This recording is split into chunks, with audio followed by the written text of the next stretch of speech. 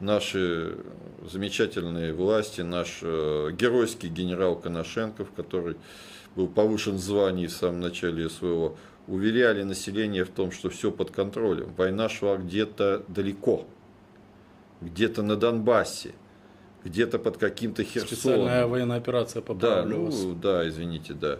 Вот теперь это важно. Там, вот. А сейчас, получается, противник бежал, бежал, бежал. То есть постоянно уничтожались огромное количество боевой техники, э, дикое количество украинских солдат.